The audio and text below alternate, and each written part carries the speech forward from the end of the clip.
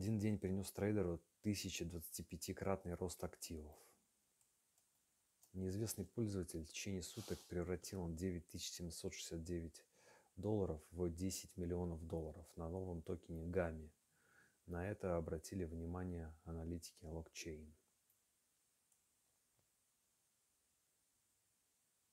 За 12 минут до старта торгов ГАМИ трейдер вывел 65 салонов с биржи MEXC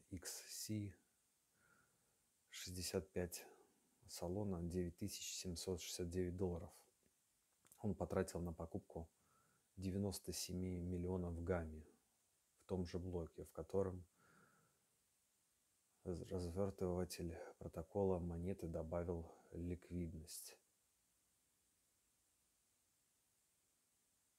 Затем все купленные токены он переместил на 10 новых кошельков. Сейчас их стоимость достигает 10 миллионов долларов. Прирост инвестиций составил x 1025. Эксперты не исключают вероятность того, что сделка была инсайдерской. Ранее ForkLog сообщил, что трейдер за два дня заработал 1 миллион 500 тысяч долларов на мемкоинах.